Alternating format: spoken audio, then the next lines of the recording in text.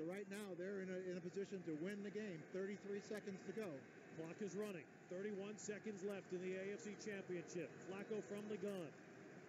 Looks right, pumps once. Fires end zone. Caught! Touchdown! Lee Evans! No! They ruled he didn't hold on to the ball.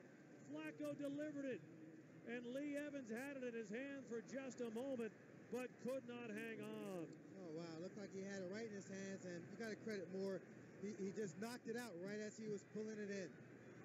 Right as he was pulling it in, it got knocked out. Right in his hands, and Sterling Moore stripped it away before Lee Evans could get his second foot down in the end zone. And the drama builds. 22 seconds left. Third down and one.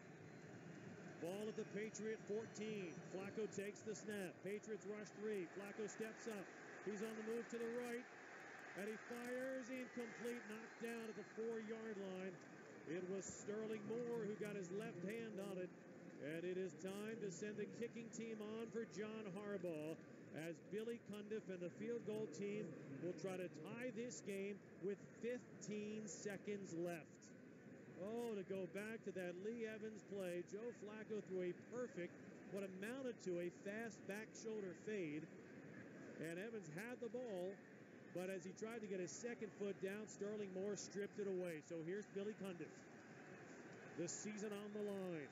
15 seconds left. A 32-yard field goal attempt from the right hash mark. Kick on the way. It is long enough, and it's no good. He hooked it wide to the left. And the collective sense of utter despair lines the Patriots and the Ravens sideline. Celebration for the Patriots, disbelief for the Ravens as Billy Cundiff misses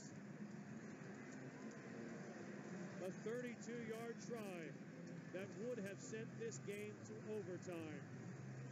And instead, the realization has settled now on the Ravens and their fans that this season has come to an end.